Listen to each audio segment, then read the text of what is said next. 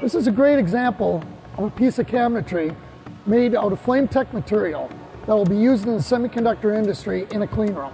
In this cabinetry, we have a few different welds that we use. There's a tack weld, there's a speed weld. First, we tack pieces together to hold them in place, and then we'll speed weld them to make them solid. Down here, you can put on blocks, tack, and weld for fittings. We can weld fittings using all the Flametec material. On the outside, we use a butt weld. We V-groove it out, we fill it, and shave it flush, sand it.